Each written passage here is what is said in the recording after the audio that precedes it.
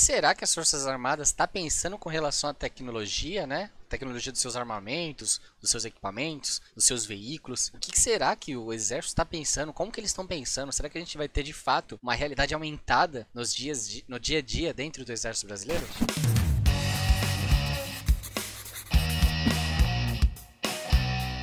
Fala galera, beleza? Lopes tá para trazer mais um vídeo pro canal. E galera, é o seguinte, vídeo novo no canal, tô trazendo mais um vídeo interessante e informativo para vocês que me acompanham. Se você não me conhece, eu sou o Lopes, trago vídeos relacionados ao militarismo, trazendo dicas sobre alistamento, informações sobre concursos públicos. E no vídeo de hoje, que é o que eu vou apresentar algumas curiosidades sobre o, as Forças Armadas e em especial o Exército.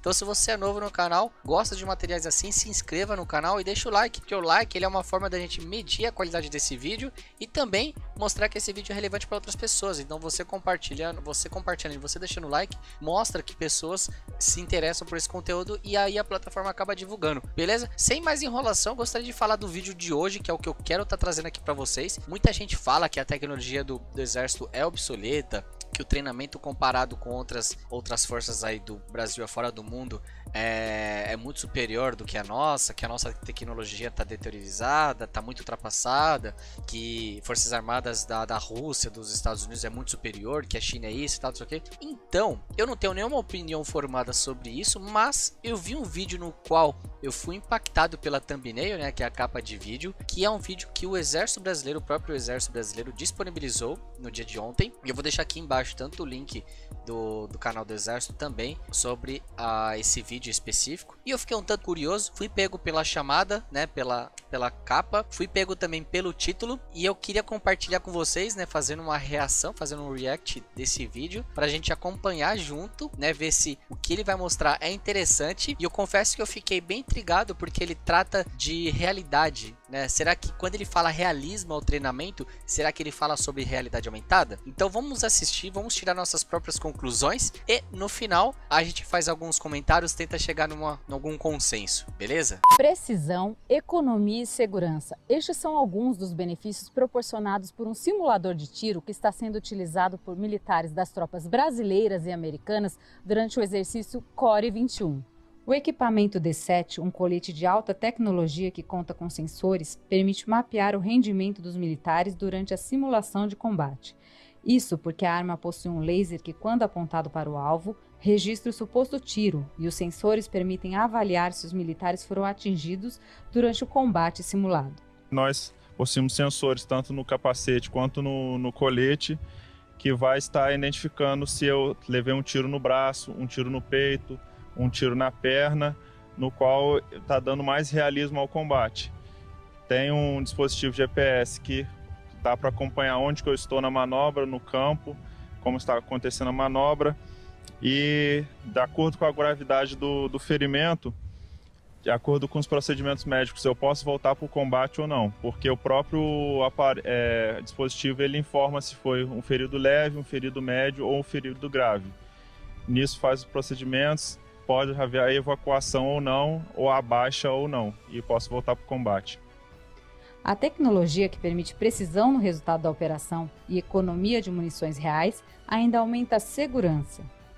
Então, os militares estão sensorizados e isso dá um realismo muito grande, porque se ele receber um tiro por meio de um feixe laser, ele vai ser morto. E, e, e no final a gente tem todo esse cômputo. Então, isso permite, depois de uma análise estatística, a gente melhorar o nosso adestramento. Então, dentro de um quadro de realismo, isso é muito grande.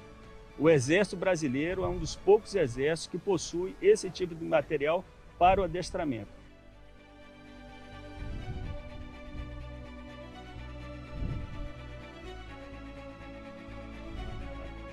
Interessante.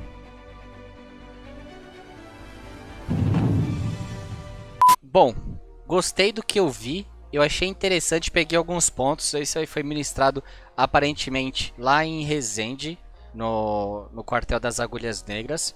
Um ponto importante é que vocês viram que esse treinamento foi em conjunto com tropas do exército americano.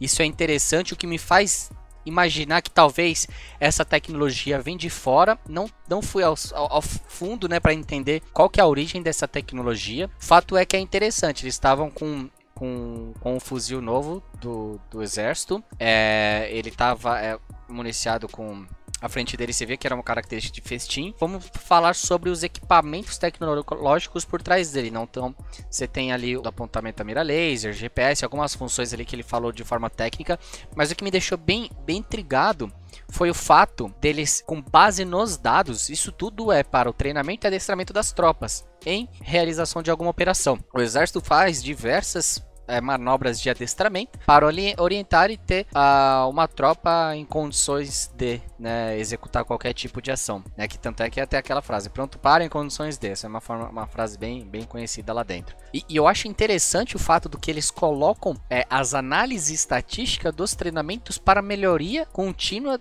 da tropa. Se vocês não entenderam o que eu, o que eu quis dizer, o que, que acontece? Eles estão lá no simulado, não sei aonde. É, o que faltou desse vídeo talvez falar em que momento que eles usam, estariam utilizando esses equipamentos. Se é num campo aberto, num terreno de mata ou num campo fechado, tipo uma parada de mais de airsoft, você tem x5x5 lá e que seja. Mas fato é que com base nas análises, né, demonstrativas pelo, pelos aparelhos, né, ou seja, é, cada registro de um tiro efetuado e acertou o companheiro, né, com base no laser, cada per caminho percorrido pelo militar através do GPS, tudo isso é colocado de forma dentro do aparelho, né, e é transformado em dados. E aí com base nesses dados eles fazem uma análise estatística estatística para ver provavelmente percentual de acerto, onde determinada tropa está sendo mais atingida, digamos assim, a partir de qual momento o soldado fica mais suscetível, talvez a uma falha, ao, ao levar um, um, um tiro ou, ou, algo do tipo. Eu achei bem intrigante essa parte. Eu acho que o exército indo por essa linha de raciocínio, por essa caminhada, me, me deixa bem animado, porque eu trabalho com dados, eu trabalho com, com análise exploratória dos dados, né? Como a gente disponibiliza esses dados e você tendo uh, uma equipe por trás, não estou falando só da tecnologia, mas se você se o exército está pensando em como eles utilizam os dados para melhorar as tropas, eu acho isso muito interessante. Eu achei isso muito foda, inclusive. É primeira vez que eu estou vendo isso. Eu não tinha escutado esse vídeo até o final. Tô bem empolgado com o que eu vi. Eu acho que o caminho é exatamente esse. Aí você vai me perguntar, mas caminho para quê e para onde? Não sei, mas na verdade até sei, mas vocês talvez não entenderiam. Né? O exército é uma empresa como qualquer outra e precisa estar preparada. A gente nunca sabe o dia de amanhã. Obviamente o Brasil é um país pacífico, está muito longe de efetuar uma guerra, mas não necessariamente o exército vai estar atuando em guerras. Tem sempre é, atividades, operações para garantir a lei e a ordem que, que realmente precisa ter uma tropa adestrada. Imagina você numa situação, por exemplo, no, no Morro do Alemão e foi realizado aí a, a, a, colocação, né, a participação dos exércitos militares. Os militares não têm a mínima condição de, de efetuar qualquer operação operação de efetuar qualquer disparo de arma de fogo ou algo do tipo. Mas voltando aqui pro, pro raciocínio, gosto da tecnologia, não conheço muito sobre realidade aumentada, sobre o realismo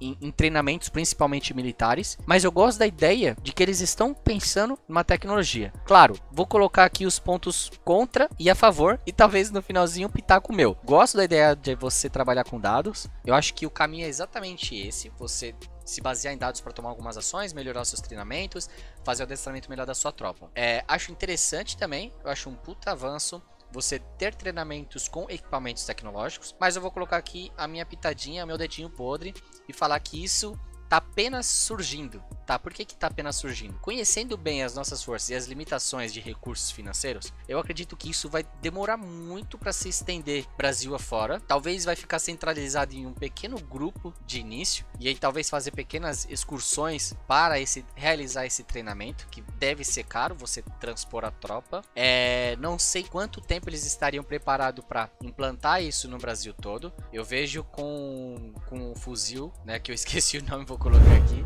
esse fuzil novo, né, substituindo o, o FAL 762. Ele demorou um pouco para aparecer nos quartéis. Então, para te dizer, com o lançamento dele, né, vamos utilizar esse, tal, tal, tal. Quando o exército decidiu que ia utilizar ele, demorou muito para ele estar tá aparecendo no mercado, tá aparecendo na, nos quartéis. Então, para te dizer que eu não sei se tem todos os quartéis, mas esse é, minha, é, é o meu ponto. E também, obviamente, isso aqui tá muito claro para você que me acompanha e não sabe, isso vai ser muito provavelmente ministrado apenas é, oficiais, no máximo ali um, um sargento e eu tenho lá minhas dúvidas Talvez em tempo de treinamento, em, em períodos de, de formação de alunos, por exemplo, da ES, da SpaceX ou, ou algo do tipo. E dificilmente isso vai estar tá caindo na tropa operacional, que somos nós, eternos soldados, né? O soldado, o cabo. Eu acho muito difícil estar tá atingindo essa tropa. Bom, é isso. Eu espero que vocês tenham gostado desse vídeo. Uma análise um pouco tanto diferente que eu faço aqui no canal. Se vocês gostou, deixa aqui no comentário para saber se realmente faz sentido estar tá trazendo vídeos assim. Eu tô pensando com algumas ideias ainda para esse ano, né? Trazer conteúdos pro canal e mais numa pegada assim de, de conhecimento, de trazer para vocês coisas que possam fazer sentido para nós, tá? Então comenta aqui embaixo se faz sentido. Lógico, gostou? Deixa o like, mano. Deixa o like agora, que o like fortalece muito o nosso crescimento. No mais é isso, eu espero que vocês tenham gostado. Valeu, falou e até a próxima.